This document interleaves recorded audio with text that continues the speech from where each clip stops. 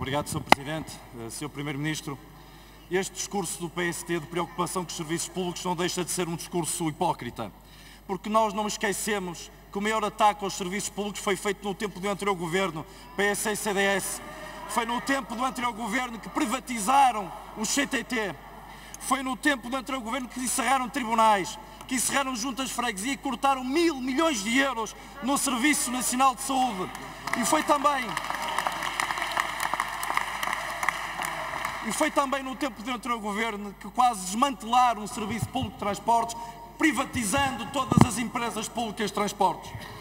O investimento público precisa do texto de algodão. Vamos ver quanto é que o anterior governo mobilizou do Orçamento de Estado anualmente para o investimento público. A média anual do Orçamento de Estado para o investimento público entre 2012 e 2015 foi de 2.100 milhões de euros. Entre 2016 e 2018, o Orçamento de Estado mobiliza anualmente 3 mil milhões de euros. E este é o verdadeiro texto de algodão quanto ao esforço orçamental médio anual para o investimento público. Mais 900 milhões de euros por ano que o Orçamento de Estado mobiliza para o investimento público. Portanto, isto prova que não é o investimento público, o investimento público não foi sacrificado para a consolidação orçamental. E se o investimento público tem aumentado ano para ano, como vai aumentar para 2019, isto deve-se, sobretudo, àquilo que é poupança com encargos da dívida pública. São largas centenas de milhões de euros que têm sido canalizados para o investimento público, para a educação, para o Serviço Nacional de Saúde e também para os transportes. Lembremos que este Governo repousa o corte no Serviço Nacional de Saúde, um investimento nesta legislatura no SNS de 1.300 milhões de euros. O SNS conta hoje com mais 11 mil profissionais, com mais 700 mil consultas nos cuidados primários nesta legislatura, face à legislatura anterior, e o mesmo se passa também com as cirurgias, mais 18 mil cirurgias.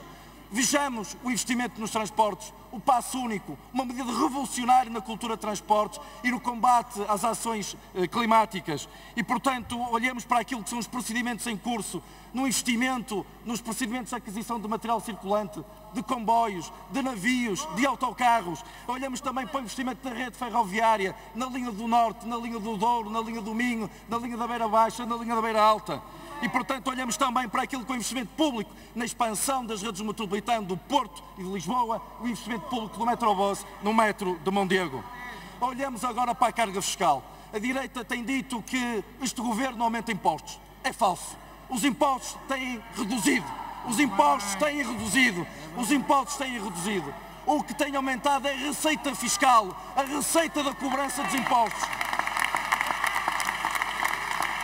E se houvesse dúvidas quanto a isso, a última publicação, a última publicação do Instituto Nacional de Estatística veio dizer isto que eu passo a citar.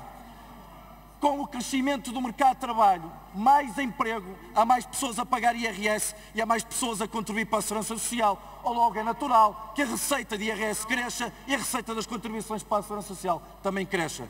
Mas se olharmos também para o crescimento da economia, para o aumento do consumo, apesar da taxa de IVA se manter inalterada até ter descido para a restauração, o que é certo é que mais procura interna, mais consumo, logo aumenta a receita de IVA. Não aumentam os impostos, pelo contrário, têm reduzido, como se têm reduzido em sede de IRS. Hoje os portugueses pagam menos mil milhões de euros em sede de IRS. Nós retiramos a sobretaxa de IRS, aumentamos o mínimo de existência. Há 150, 150 mil famílias que hoje não pagam IRS devido aos seus rendimentos rendimentos muito baixos. Todas estas medidas têm contribuído para maior justiça fiscal.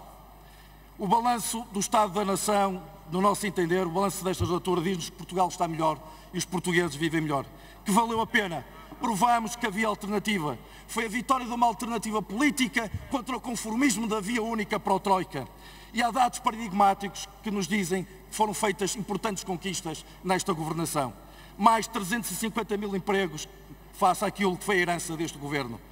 Nos últimos dois anos, saíram da situação de risco de pobreza 180 mil portugueses. O rendimento disponível das famílias aumentou 12% e uh, houve uma descida das desigualdades na distribuição de rendimentos, como já não se via há muitos anos.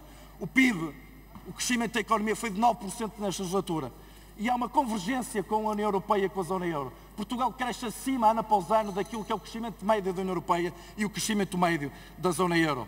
O sistema financeiro está estabilizado. As contas públicas consolidadas. O investimento cresceu quase 17% face a 2015 e as exportações hoje já representam 44% do produto interno bruto. E o estoque de investimento direto estrangeiro atingiu um novo máximo no primeiro trimestre deste ano de 120 mil milhões de euros, que contradiz por completo aquilo que a direita dizia, ninguém vai investir num país governado por socialistas, apoiado por comunistas e bloquistas. Termino, Sr. Primeiro-Ministro, fazendo uma questão. Temos mais emprego, mais economia, temos mais coesão social. Na semana passada, e falando em coesão social, foi aprovada aqui a Lei de Bases da Habitação. PSC e CDS preferiram votar contra esta Lei de Bases por preconceito ideológico. E a, certo é que a Lei de Bases é um forte avanço para que se cumpra o desígnio constitucional de uma habitação para todos. E nesse sentido, pergunto-lhe se concorda que a Lei de Bases terá de constituir uma das apostas mais fortes da agenda para a década. Obrigado. Obrigado, Sr. Deputado.